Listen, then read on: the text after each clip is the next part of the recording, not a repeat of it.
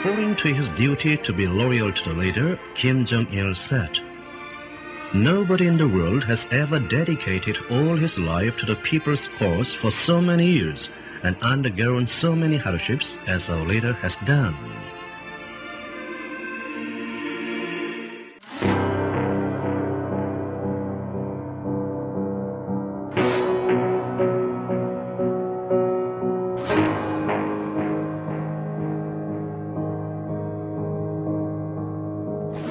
매끼 먹을 걱정하면서 배고픈 거는 슬픔이에요. 인간, 인간에게 가장 큰 슬픔이라고 보고요. 처음으로 쥐를 잡아먹는 애들한테부터 같이 이제 쥐를 손먹었고 그리고 이제 아 저런 걸 잡아먹어야지 내가 살 수 있겠구나 하는 생각을 처음 가지게 됐죠. 그런 사람이 범죄자가 아니면 과연 어떤 사람이 범죄일까? 전 정권에 대한 그 반감 때문에 탈북까지 이르게 됐다고 저는 생각합니다.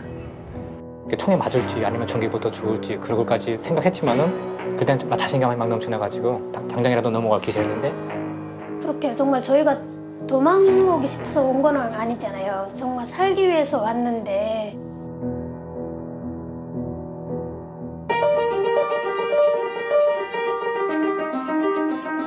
내가 알고 있던 게 전부 거짓말이구나 이런 생각이 들었어요. 근데 그게 알고 있는 저한테는 큰 충격이었죠.